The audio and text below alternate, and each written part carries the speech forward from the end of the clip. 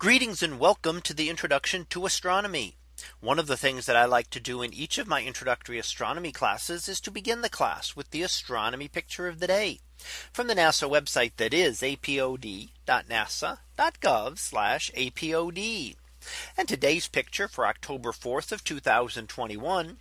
Well, it is titled NGC 4676 when mice collide. So these two galaxies in the process of a collision are sometimes known as the mice. And that's because of their long tails stretching out from the central regions. Now most galaxies don't have long tails like this. These occur when galaxies are interacting and material is being ripped out of the galaxies by the gravitational field of another galaxy as they interact with each other. Within a galaxy, the stars are very far apart relative to their sizes. So two galaxies can collide and their stars will not collide together. They will pass by each other.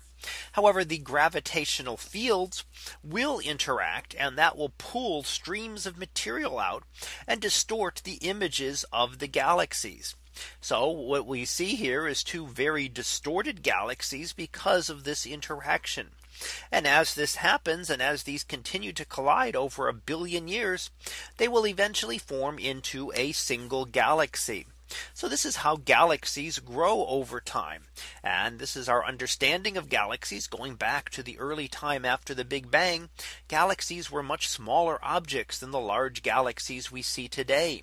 And over time they would collide together and coalesce into larger galaxies, building up the much larger spiral and elliptical galaxies we see today. So what we see in this image is a snapshot of that process of colliding galaxies.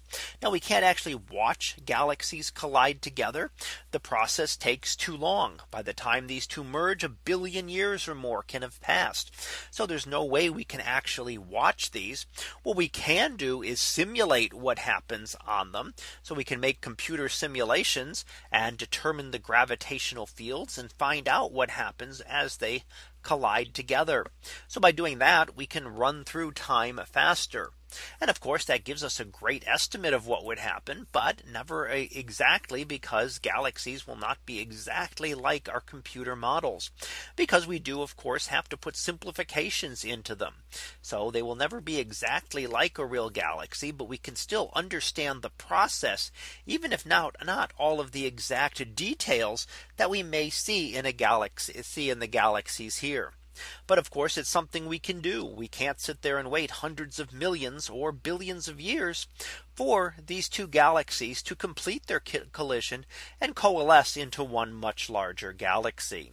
So that was our picture of the day for October 4th of 2021. It was titled NGC 4676 when mice collide.